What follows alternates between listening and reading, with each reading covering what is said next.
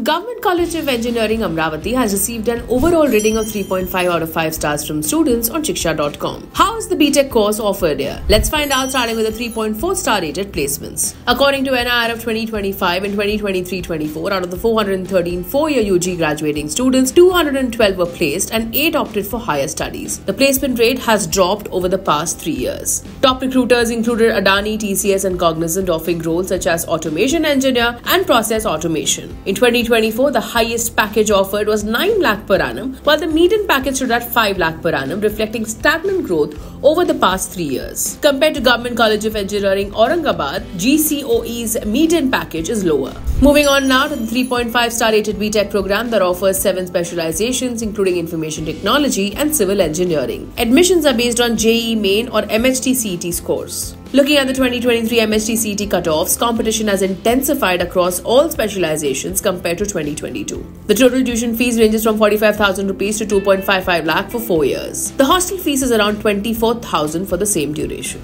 Now about the 3.2 star rated infrastructure. The 114 acre Wi-Fi enabled campus offers smart classrooms, advanced labs including an electronics lab, a digital library and medical facilities with separate hostels for boys and girls. It also has sports facilities including basketball, volleyball, cricket and more. Students reported that the mess and the canteen provide good quality food. Now let's talk about the academics rated 3.6 stars. The faculty, many with PhDs, are appreciated by students for being supportive. The institute collaborates with the National Innovation Foundation and Aspire Skills to promote innovation. Industry ties with companies such as Cognizant and Zenwork Solutions help boost exposure and employability turning our attention to campus life rated 3.1 stars. The college offers technical clubs including robotics and GDSC, along with cultural clubs for music, dance, and dramatics. Lastly, the Government College of Engineering Amravati is currently unranked in the NIRF 2024 engineering category. Download the Shiksha app for more details.